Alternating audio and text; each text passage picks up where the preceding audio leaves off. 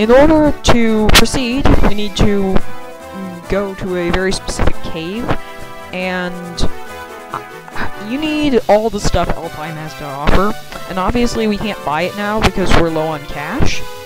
So, this is the second grinding session of the game.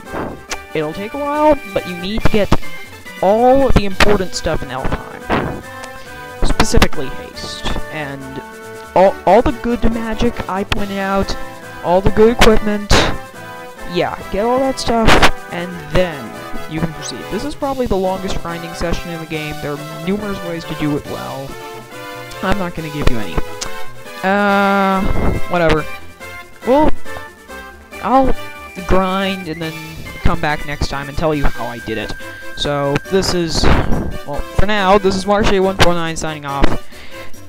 Goodbye.